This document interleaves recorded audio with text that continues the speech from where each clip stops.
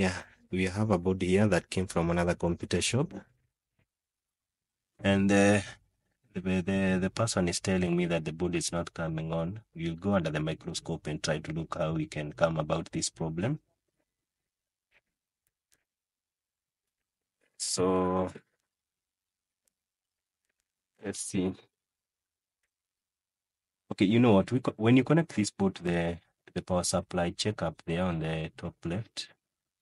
You're going to see that the board is doing three amperes and the CC is on. That is a short circuit on the motherboard. Do that, and this chip is getting hot here. 7401 GA2417. Maybe let me adjust my power supply to get a little bit of voltage so that we cannot damage the, cannot burn out the chip, which may also extend the damage to the motherboard itself. And let me also now connect the charger and see how this one is melting the flux, very high speed. Yeah, this is a very quick melting up, and that means the chip is getting hot. So the chip is getting very hot.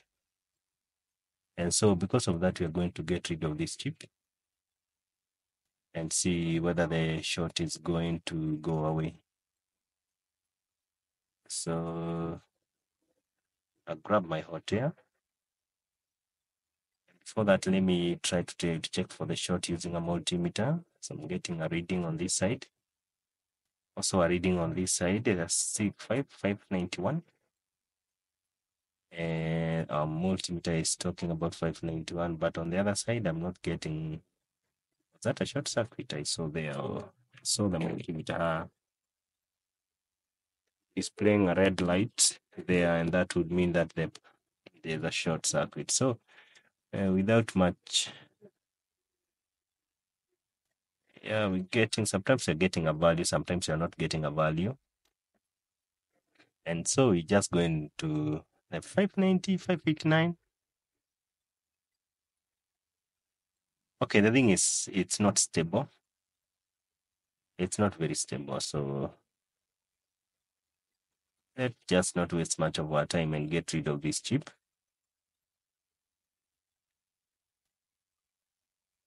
Yeah, this is a this is a type of a transistor uh, by the name MOSFET. But in most cases, I'm used to ceramic capacitors getting having to be the one bringing the shot to the motherboard or having to be the one responsible for the short on the motherboard. So um, I really doubt this is the chip that is responsible for the short circuit on this motherboard. But anyway, it's only after we remove the chip we can be able to tell this. So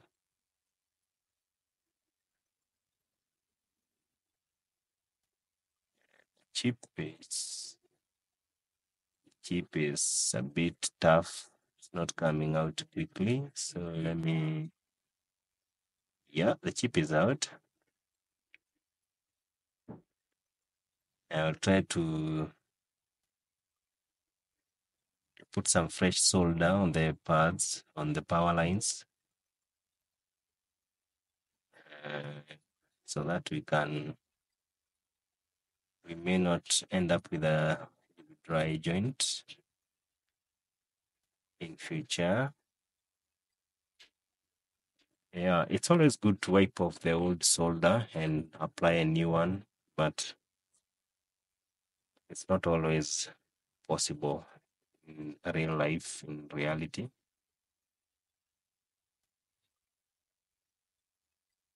Let's do some cleanup.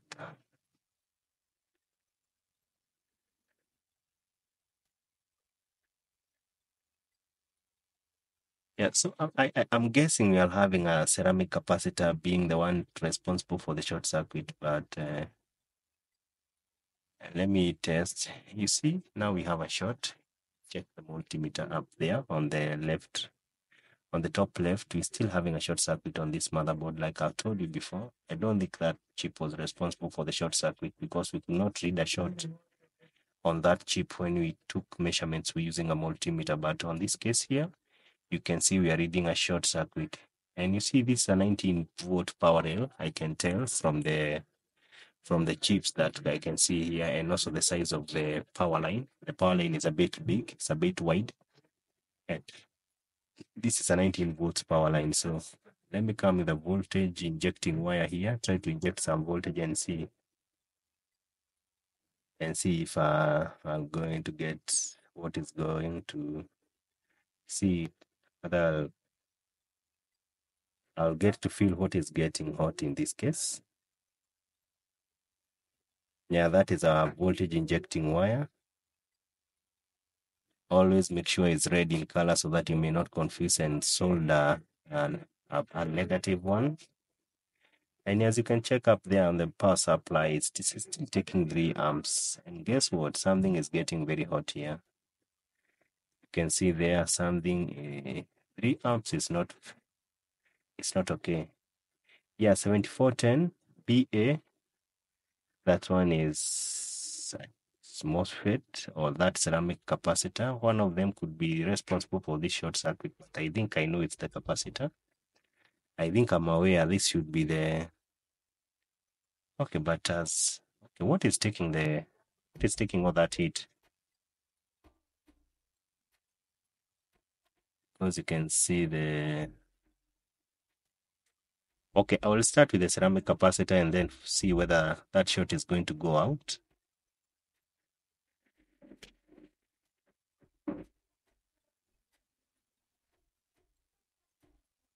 Uh, use some hot air.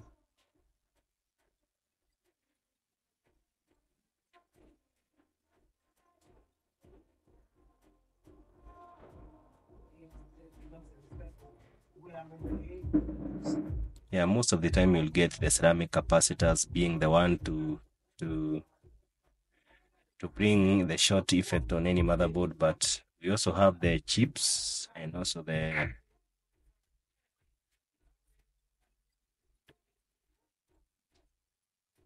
okay so I'll come with a multimeter and try to see whether we're still having a short. I try to take some measurements yeah probably maybe it's not the ceramic capacitor as we we would like to think. Yeah and i can i can see this the, the ceramic capacitor is not the one because you're still having the short. So we'll we'll get it back and maybe try to come to come up with the mosfet try to remove the mosfet and see whether this is going to change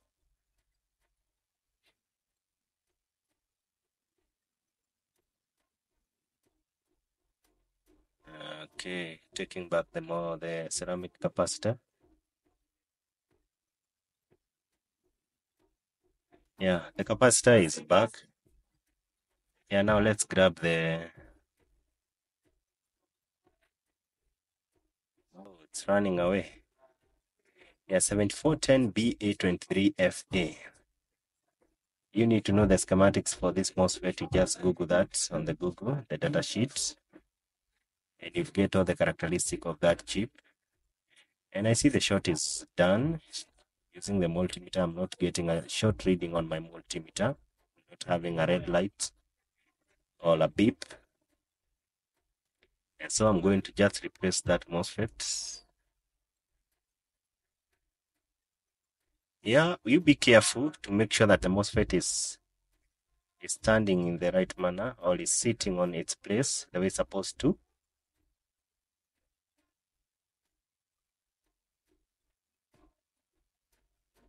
Yeah like now it's very nice. It's sitting just right to its place. We do a little bit of cooling down.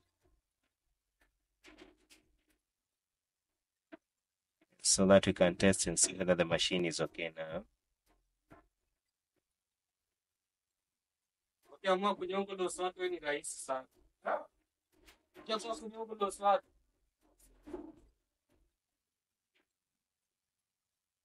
yeah so i think we're just going to to to check out this.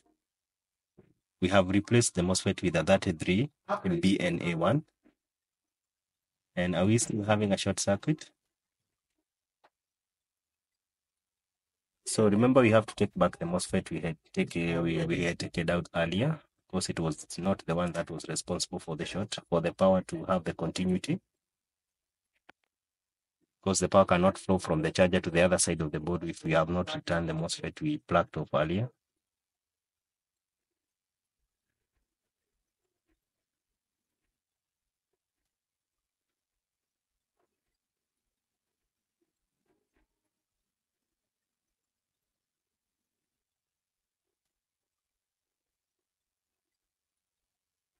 Oh, this is not sitting on its place. Oh, at last.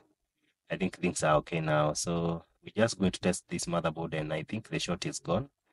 We have found out that the MOSFET was the one that was responsible for that short and go back to 19 volts and let's now test the motherboard.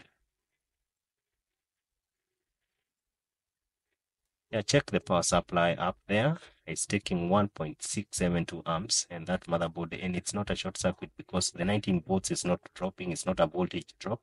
See the lights on the motherboard are now on and you can see the power supply is taking a good ampere. Yeah, that's all guys. That's all. And that's it. Thank you for watching. Subscribe, like and share.